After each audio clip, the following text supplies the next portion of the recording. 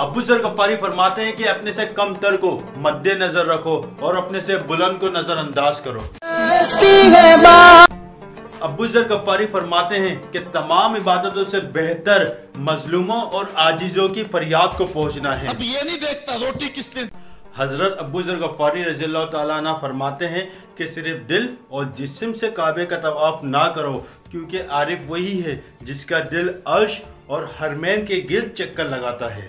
तेरे घर के हज़रत अबू जर गफारी रज़ी फरमाते हैं कि इंसानों से मोहब्बत करना दरअसल खुदा से मोहब्बत करना है और इंसानों की खिदमत करना दरअसल खुदा की खिदमत करना है। हज़रत अबू जर गफ़ारी रज़ी अल्लाह फरमाते हैं कि दरवेश के मायने ये हैं कि जो भूखा है, उसे खाना खिलाओ, जो प्यासा है, उसे पानी पिलाओ, जो नंगा है, उसे कपड़े पहनाओ, गज किसी को अपने दल से महरूम ना लुटाओ।